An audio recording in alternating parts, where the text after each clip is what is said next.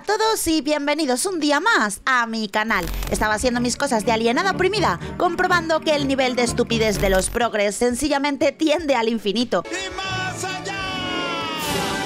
Cuando me ha llegado un vídeo de TikTok que me ha dejado los ojos como platos. Sí, esos mismos que siempre me voy a fregar al final de los vídeos. Este vídeo de TikTok está dividido en dos partes y en él una chica nos cuenta que si eres hombre y te gustan una serie de películas, eres una red flag con patas. Bueno.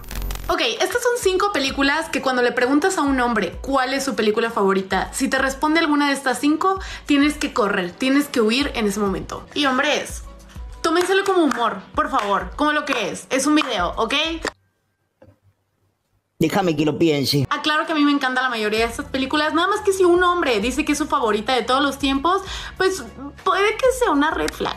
No digan que no se los advertí. Pues empezamos bien, con la protagonista del vídeo admitiendo que a ella le gustan esas películas que dice que convierten a un hombre en alguien de quien huir. Es decir, a ella pueden gustarle porque es mujer, a ti si eres hombre ni en pedo. Pero ya sabéis, No os lo toméis muy en serio porque jiji es un vídeo de humor. No obstante, yo sí me lo voy a tomar en serio, por unos cuantos motivos. El primero es que esta gente no utiliza el humor como una herramienta para hacer reír, sino como una excusa para que no la cancelen por decir burradas. El segundo es que para hacer humor, como ella dice, sinceramente no tiene la más mínima gracia. Y el tercero es porque, aunque fuese cierto que lo está diciendo por puro humor, muchos en el pasado han dicho lo mismo que ella, pero hablando completamente en serio. Así que preparaos para un análisis pormenorizado bien chido. Adelante con la intro.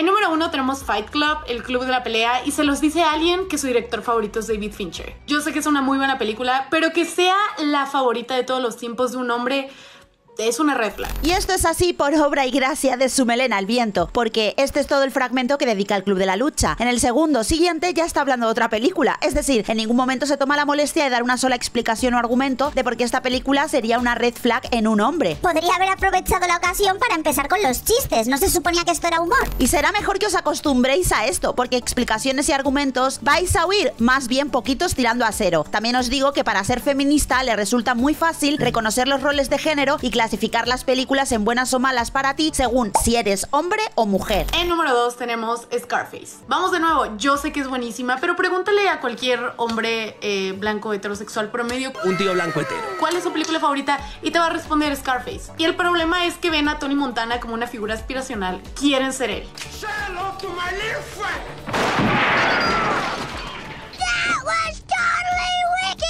No, por favor.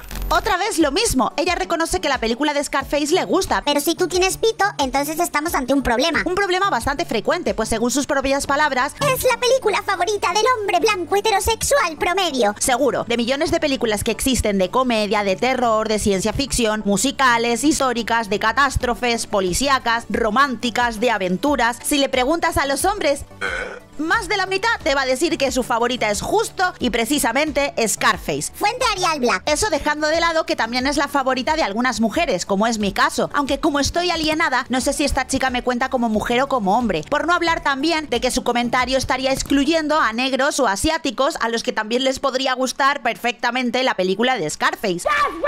Quien, por cierto, es un personaje hispano que hizo sentir más orgullosos a los latinos que todas las pelis con representation progre de los últimos cinco años. Y no, no es exactamente que los hombres quieran ser como Tony Montana, es que Tony Montana anhela lo mismo que la mayoría de los hombres, riqueza y poder. Y si conocéis el final, sabéis que la película es un recordatorio de que tratar de conseguir estas cosas por el camino corto no es una muy buena idea para tu salud a la larga. Así que de hecho, es una película que muchos hombres que sueñan con tener la vida de Tony Montana deberían de ver. Número 3, Pulp Fiction. Yo sé la importancia de esta película, es una de las más icónicas de todos los tiempos, efectivamente. Pero cuando un hombre te dice que Pulp Fiction es su película favorita de todos los tiempos, es porque seguro es un film bro y se va a poner insoportable cuando quieras ver una película porque siente que sus gustos son superiores.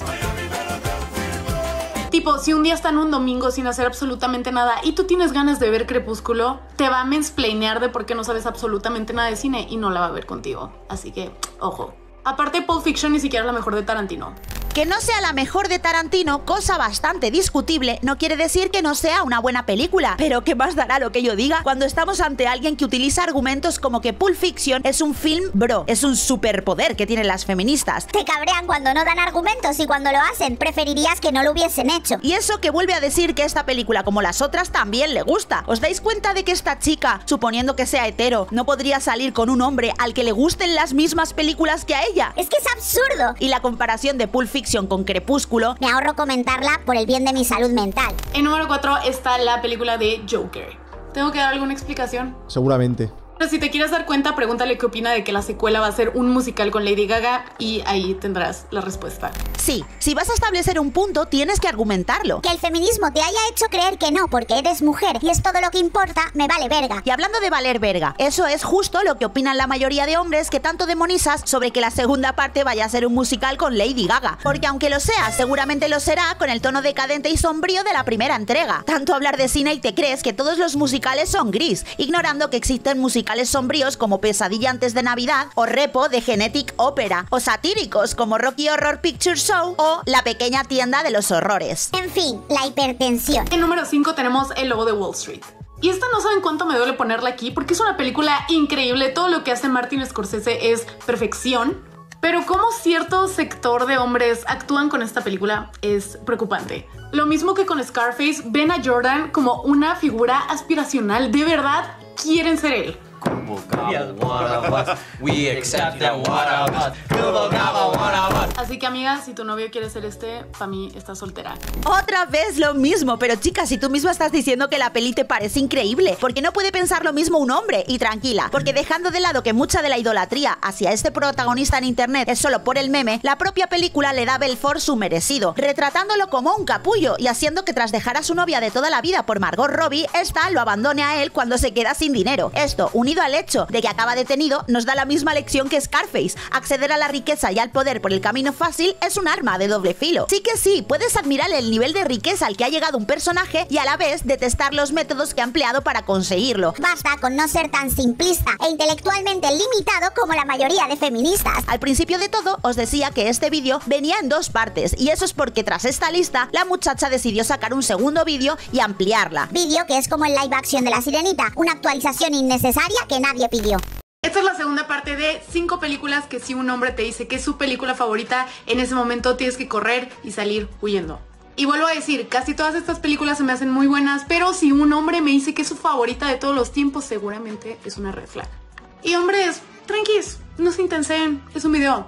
Empezamos. En número uno, y no sé cómo no la puse en el video anterior, La Naranja Mecánica. Excelente película de Stanley Kubrick, pero dude, si me estás diciendo que esta es tu película favorita de todos los tiempos, neta, o sea, genuinamente me preocupas.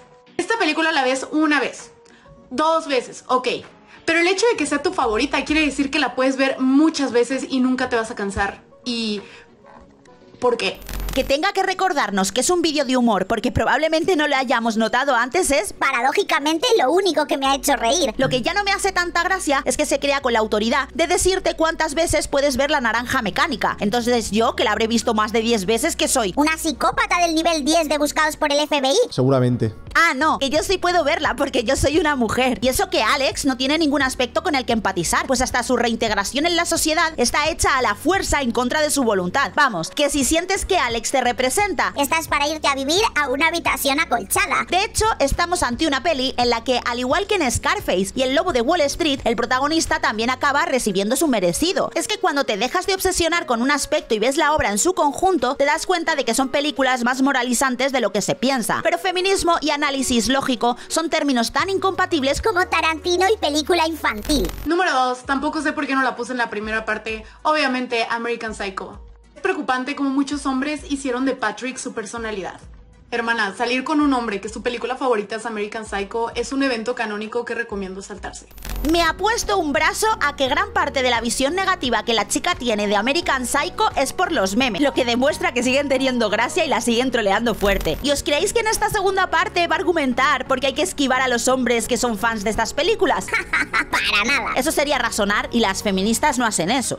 Aquí no hacemos eso. Y postdata antes de pasar al siguiente punto, porque aquí se ha hecho un chiste. Si un evento es canónico, significa que no puede saltarse. Que es que ni siquiera puedes comprender la boda del cine más reciente, amiga. Número 3, Drive. Y miren, yo sé que está de moda decir entre los hombres soy ese, haciendo referencia a Ryan Gosling. Pero dude, sé ese en el diario de una pasión no en Drive. Aparte, perdónenme, pero la neta para mí esta película está sobrevalorada. Bueno, creo que ya os podéis imaginar cuánto me valen las opiniones sobre cine de alguien que dice que Drive está sobrevalorada, porque cuando habló de Scarface os dije que esa película formaba parte de mi lista de favoritas, pues otra que también está en ella es precisamente Drive, cosa que ya de inicio invalidaría que solo los hombres se la pasan señalando al protagonista diciendo soy ese, porque yo también soy ese, y soy ese en Drive, no en el diario de Noah. Porque con estos vídeos ahora mismo sí que estaría en el papel de aguantar a una loca incoherente. Ahora fuera de bromas, ¿qué es lo que hace exactamente Ryan Gosling en Drive como para que sea problemático que un hombre se identifique con él? ¿Es lo de darle una paliza a un tío por amenazar de muerte a un niño pequeño? ¿Demasiado machismo tóxico concentrado en una escena? Mira, mejor pasamos a otra peli porque es que yo con esto no puedo. Número 4. Taxi Driver. Are you talking to me? Vamos a lo mismo. Martin Scorsese tiene una de las mejores filmografías de toda la historia, pero a veces sí me preocupa. Sí me preocupa que tu película favorita sea esta por el, por el personaje.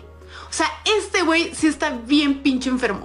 Amiga, si tu novio basa su personalidad en esta película, de verdad, sale ahí es preocupante. Lo de basar la personalidad en personajes de películas según se ponen de moda es lo que hacéis vosotras las feministas. Lo hicisteis con Harley Quinn, luego con Merlina, luego con Barbie y tachar a Taxi Driver como red flag o tóxica es una moda más vieja que el pan. Pero es que bajo la lógica de esta chica, todas las de Martin Scorsese lo serían. Aunque viniendo de alguien que define Drive como película sobrevalorada, ya nada me puede sorprender. Y en número 5 tenemos Nightcrawler. Esta película está muy buena, Jake Gyllenhaal da una actuación espectacular, pero lo mismo. Si esta es tu película favorita de todos los tiempos.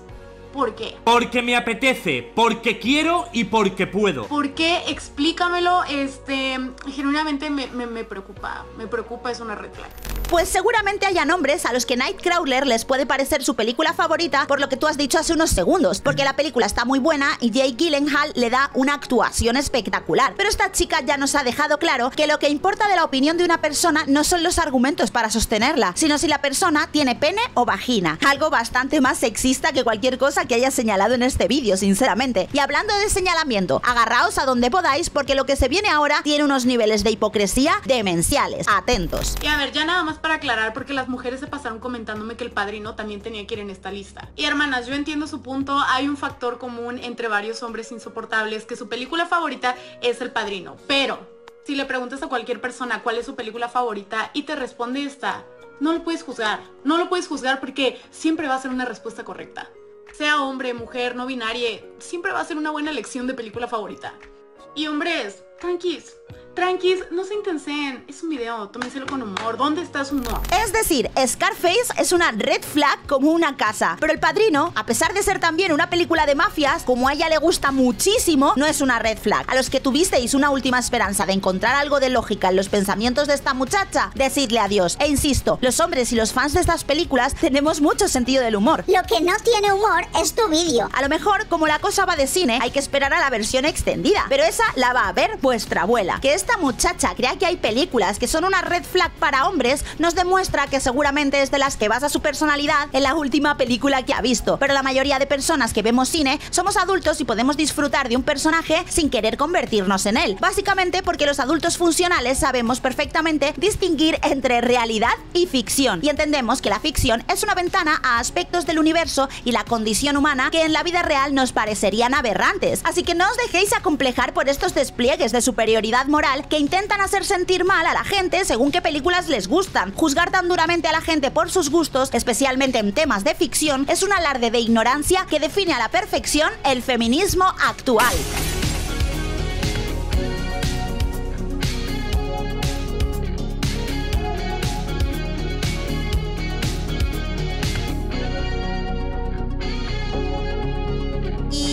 Todo por el vídeo de hoy. Si te ha gustado, dale a like, comenta, comparte y todas estas cosas. No olvides seguirme en mis redes sociales o si tienes alguna sugerencia, escríbeme a mi correo. Y nada, yo os dejo que me tengo que ir a fregar. Un besito, chao.